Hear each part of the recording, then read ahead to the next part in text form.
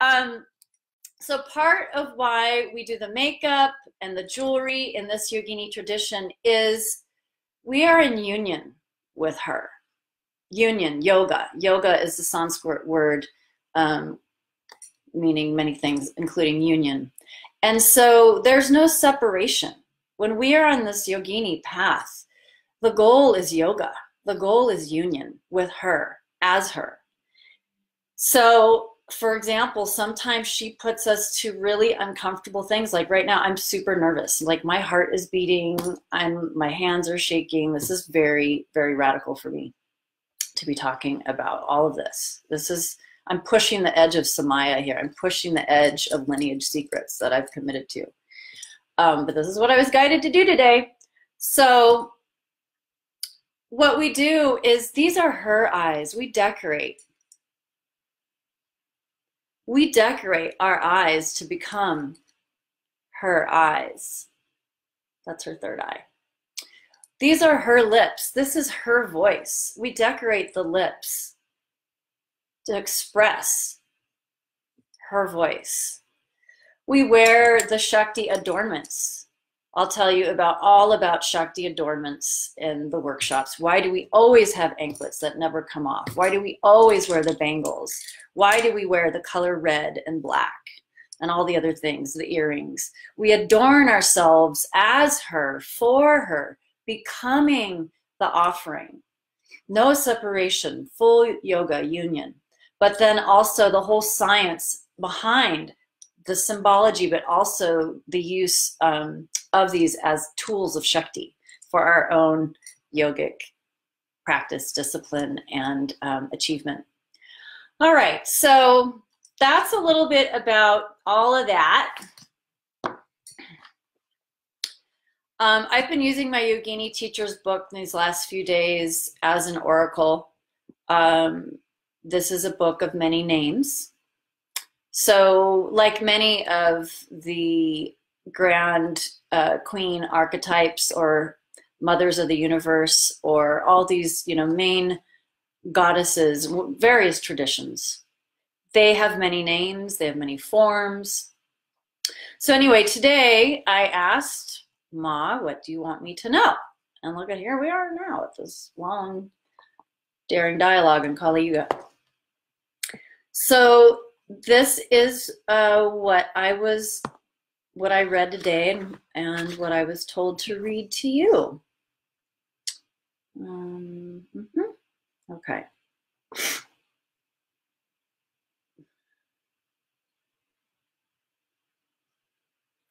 So we're bringing in an awareness of the full cycle of creation, preservation, transformation, which is a part of Kali's work.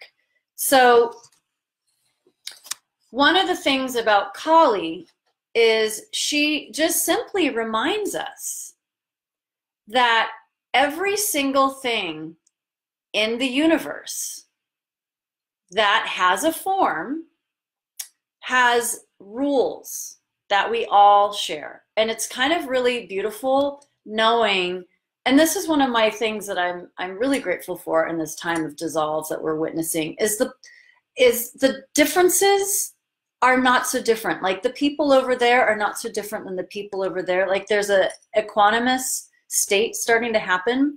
And anything that has a life in anywhere in the universe, guess what? Has a death.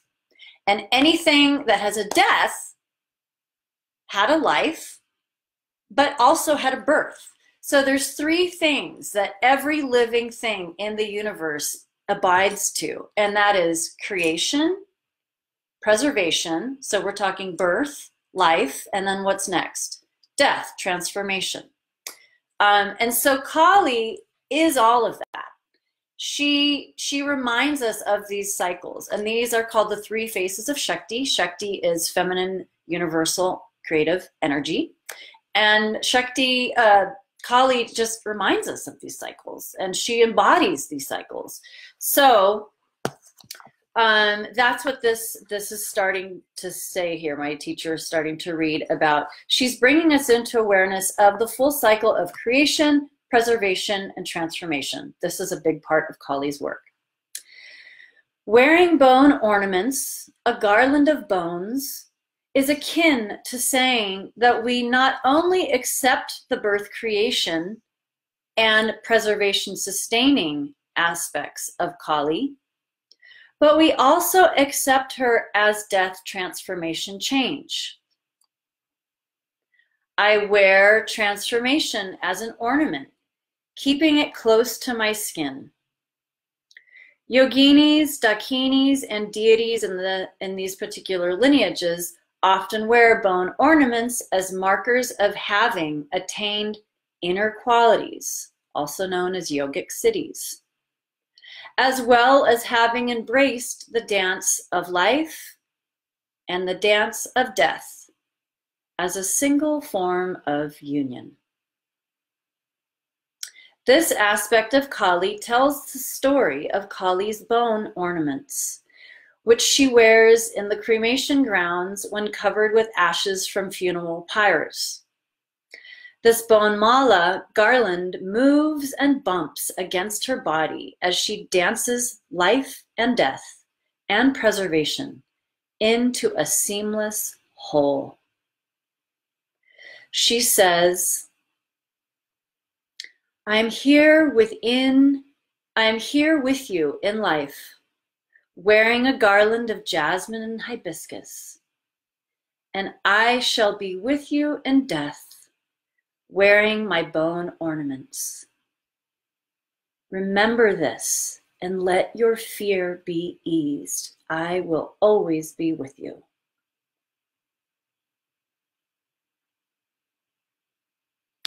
Often, Kali is seen uplifting one of her hands in what is called the Abhaya Mudra. She is often also seen, um, it's, it's kind of hard to show it this way, with her boon giving mudra. So you'll often see Kali, she's got a whole bunch of weapons, a wet, fresh head that's been recently severed, and she may have a really wrathful face. She may have a sweet face, but she is letting you know Fear not, and I am offering to you, I am giving you bounty and abundance all at the same time. This is to be celebrated, and this is all why we dance while wearing her bone ornaments as a garland. So this is also today why I'm going to be introducing the two new dance series or the two new um, series. One will be the preliminary leading into Odissi dance, and one will actually be the Odissi dance. I'm going to get to those in a moment. Um, so before I talk about the dancing aspect, does anyone have any questions? I know this is kind of a big drop here. Um, it's big for me to be this raw in front of you all and sharing about um, Kali. But since it's a since it's Kali's Yuga, what you know, speaking about Kali is usually, um, hey, beautiful Havina Bliss.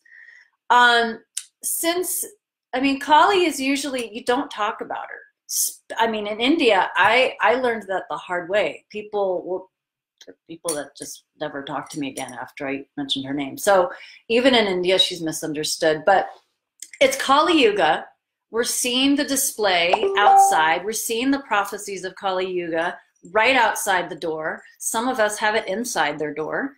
Um, and so I haven't really seen anyone talking about Kali Yuga and talking about how we're actually right on time. We're right on time with Kali Yuga right now. So um, does anyone have any questions? If you do, please type. Uh, I'm happy to answer any questions or if you have any comments. And then um, I'm going to share with you about this two-part four-week series. Specifically, I'm taking off my socks because I'm going to show you a little dance too. Um, so why I'm offering this two-part series in in this time of what I'm considering Kali Yuga peaking. Kali's Yuga is peaking right now. Um, so that was from my Yogini teacher's book. Now I'm going to just briefly show you um, about the upcoming series. If I can get to it, here we go.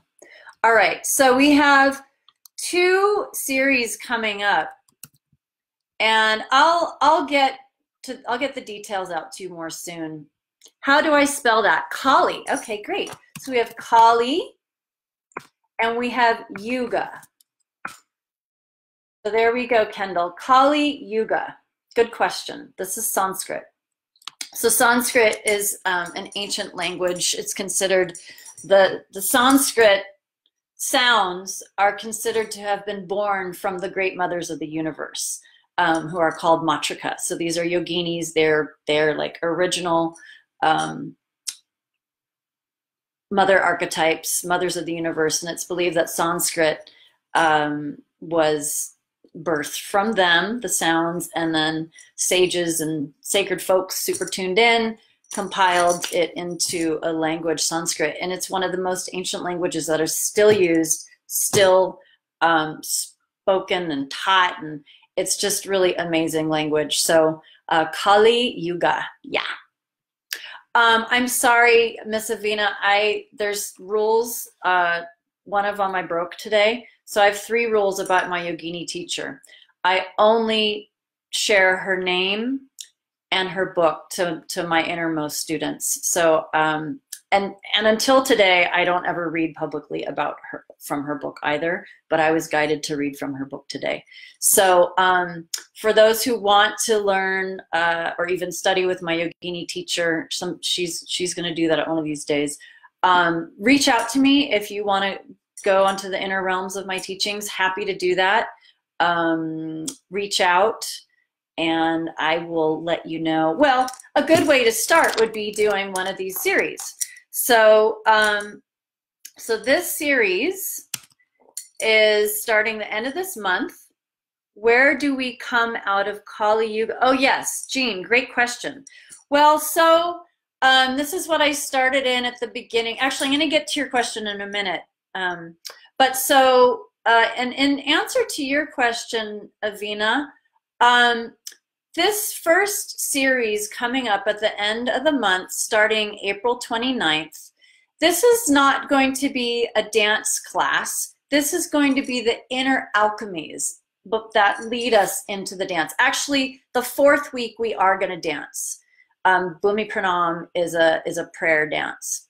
But this series is the inner network required before we can do Indian classical dance, Odissi, and then I like to actually take women all the way and do temple dance. So um, this four-week series, we are going to talk about, uh, well, first we have to talk about her story. So the her story of the dance, the gypsies, the whole thing, that will be our first class. Then the second one is what I really I love talking about the science of new mudra. So mudras are the hand gestures, and I am gonna just share everything I can within an hour.